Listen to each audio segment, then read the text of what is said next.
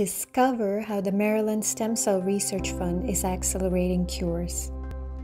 Hi, uh, my name is Chulan Kwon. Um, I'm an associate professor of medicine, biomedical engineering, and cell biology at Johns Hopkins. I'm also directing the cardiovascular stem cell uh, program here at Hopkins. Our current research uh, is focused on understanding the heart generation and regeneration using stem cells. As uh, you may be aware, that heart disease um, is the number one killer in the States and has been a significant threat to human health and lives for more than a century. If you look at the disease closely, the heart muscle cells, which are uh, the cells that use to pump and circulate the blood, are often damaged or lost. Unfortunately, the heart lacks regeneration potential, meaning that once it's damaged, it generally doesn't recover. So now um, the stem cells have emerged as a promising cell source to fight against heart disease. And uh, in fact, we can generate large quantity of uh, beating cardiac muscle cells in a dish.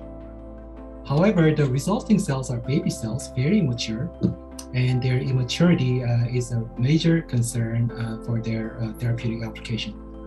So to solve this problem, uh, we have uh, taken multidisciplinary approaches including uh, molecular, cellular, and physiological approaches.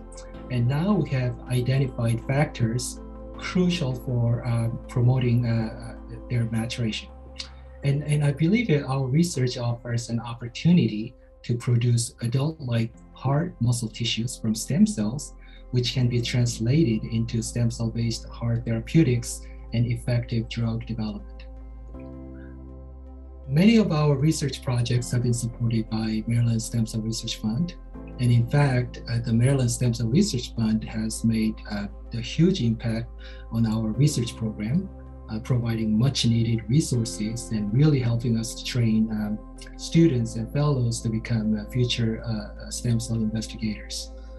Um, I, I, expect that Maryland Stem Cell Research Fund will continue to make significant contributions towards stem cell based heart regeneration and repair. Accelerating today's stem cell research into tomorrow's cures.